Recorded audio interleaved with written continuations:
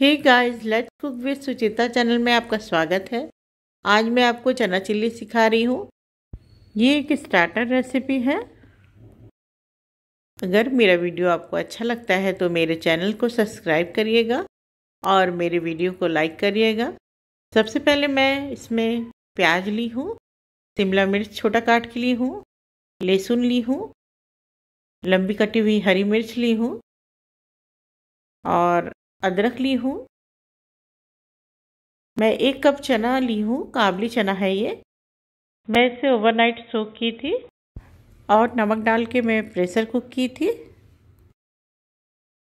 मैं इसे 90 percent cook की हूँ और इसकी पानी अलग कर ली हूँ। पानी को छान के मैं इसे अलग करके ली हूँ और इसमें मैं कॉर्नफ्लोर पाउडर डाल रही हूँ, चार चम्मच।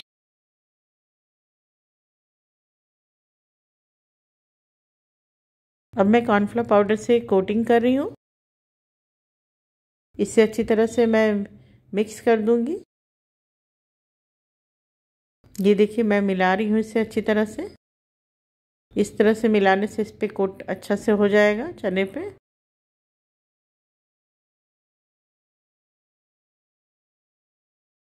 मैं हाथ से नहीं कर रही हूँ।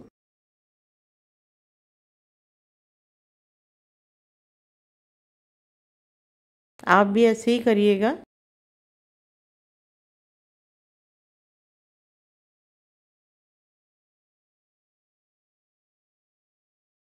अब मैं इसमें नमक डाल रही हूँ, one four teaspoon one four teaspoon मैं काली मिर्च पाउडर डाल रही हूँ इसमें। इसे भी अच्छी तरह से मैं मिक्स कर दूँगी।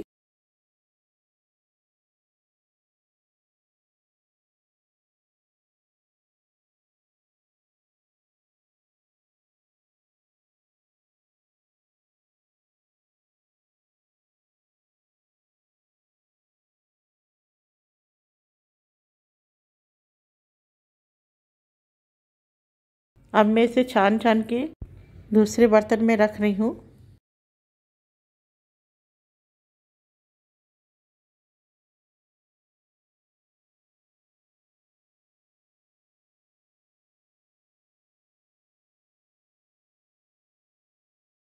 देखिए, काफ़ी अच्छा कोट हुआ है।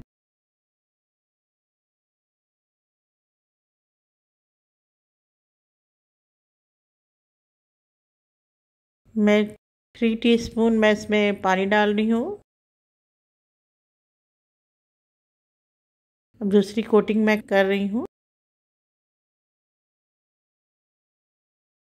मैं फिर से कॉर्नफ्लोर पाउडर डाल रही हूँ।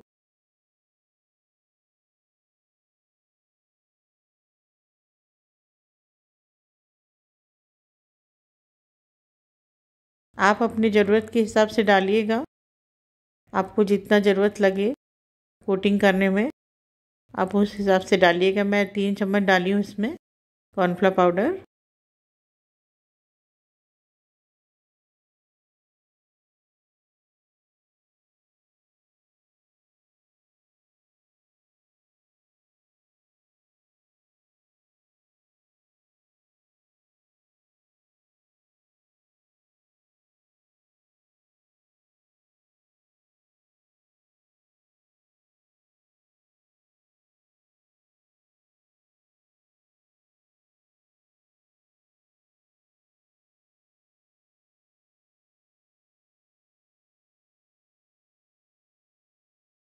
देखिए कोटिंग काफ़ी अच्छा से हो गया है।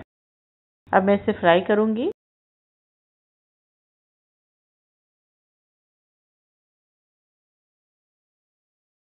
तेल को मैं अच्छी तरह से गरम कर ली हूँ।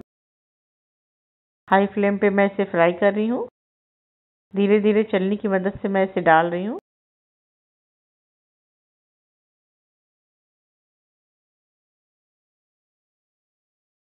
मैं हाथ से नहीं टच करी हूँ, मैं चलनी से ही सारा डाल रही हूँ इसे।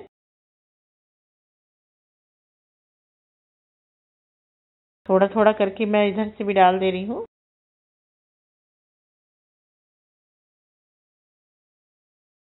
अब इसे टच नहीं करूँगी मैं। जब ये थोड़ा पक जाएगा, तब मैं इससे चलाऊँगी। ये देखिए, थोड़ा पक चुका है, अब मैं इसे पलट रही हूँ।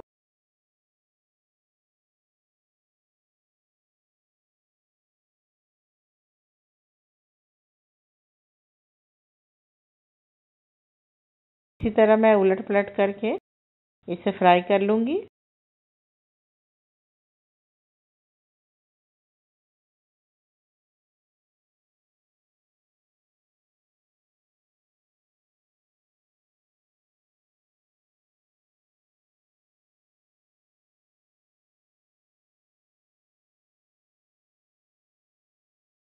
काफ़ी अच्छा ये लाल हो रहा है।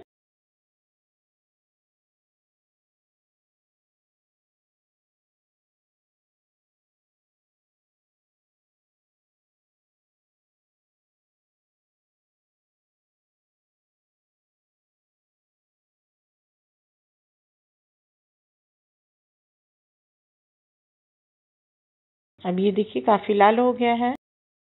अब मैं इसे निकाल ले रही हूँ चलनी पे। जाली पे निकालने से सॉफ्ट नहीं होता है ये। इसलिए मैं जाली पे निकाल रही हूँ। टिश्यू पे मत निकालिएगा, प्लेट पे टिश्यू लगा के नहीं करिएगा। आप या तो डायरेक्ट प्लेट पे ही निकाल लीजिएगा या तो जाली पे रख लीजिएगा। आप इसकी आवाज़ें सुन पा रहे होंगे, काफ़ी क्रिस्पी बना है। मैं चम्मच से भी आपको सुना देती हूँ। अब मैं दूसरा बैच डाल रही हूँ, फ्राई करने के लिए।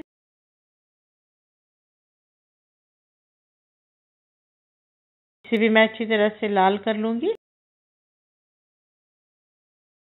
देखिए, लाल हो रहा है, काफ़ी अच्छा। सेकंड बैच भी मेरा तैयार हो गया है मैं इसे भी निकाल लूँगी।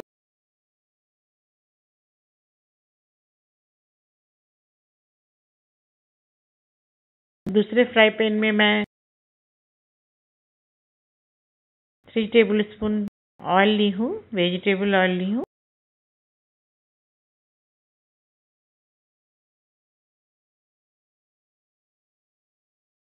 अब मैं इसमें गार्लिक डाल रही हूँ छोटा कटा हुआ लहसुन डाल रही हूँ।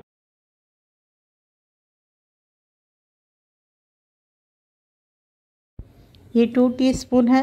गार्लिक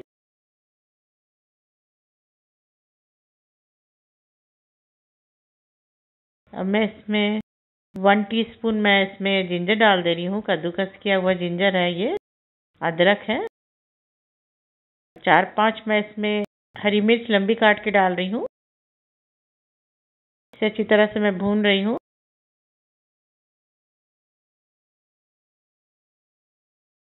अदरक का थोड़ा कच्चापन चला जाएगा तो मैं इसमें प्याज डालूँगी। अब मैं इसमें प्याज डाल रही हूँ।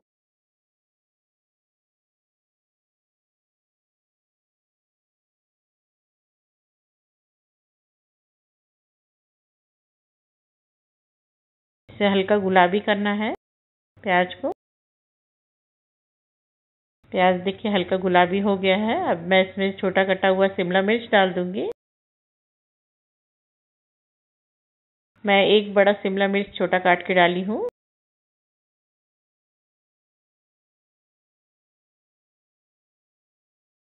इसे ज़्यादा नहीं भूनना है, थोड़ा ही भूनना है, ताकि इसका क्रंच ना जाए। इसे गलाना नहीं है।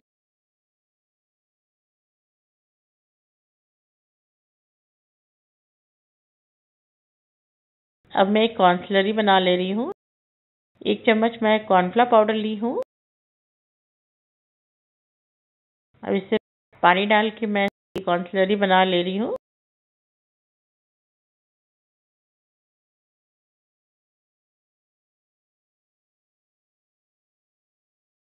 अच्छी तरह से मिक्स हो रहा है।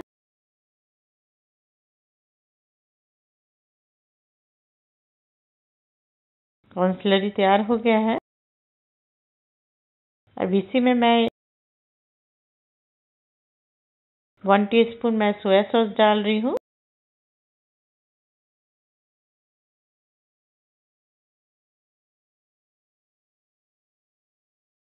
इसी में टू टीस्पून मैं रेड चिल्ली सॉस डाल रही हूँ। और टू टेबल स्पून मैं टमाटो सॉस डाल रही हूँ। सबको अच्छी तरह से मैं मिक्स कर ले रही हूँ। अब इसे डाल दी मैं कैप्सिकम वाले में। इसे अच्छी तरह से मैं मिक्स कर रही हूँ। ये प्रोसेस आप स्लो फ्लेम पे करिएगा। फ्लेम को हाई मत करिएगा। मैं मैं one teaspoon Kashmiri red chilli powder डाल रही हूँ।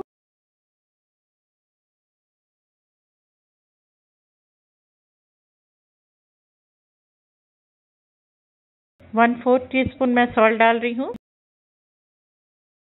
कि सॉल्ट मैंने पहले भी डाला हुआ है चने में। बॉईल करते समय और कोटिंग करते समय।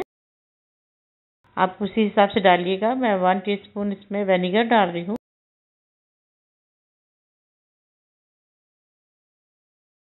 सबको अच्छी तरह से मैं मिक्स करके अब इसमें चना डाल दे रही हूँ। फ्राई किया हुआ चना। सबको अच्छी तरह से मैं मिक्स करूँगी। ये देखिए मैं मिक्स कर रही हूँ।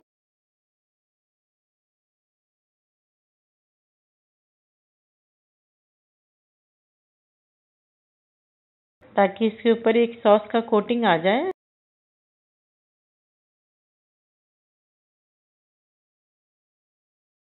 ये एक स्टार्टर है। ये बहुत अच्छा लगता है।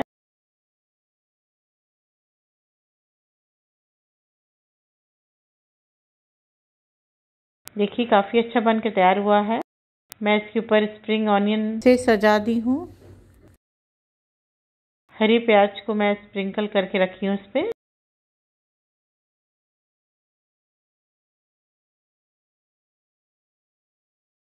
Thank you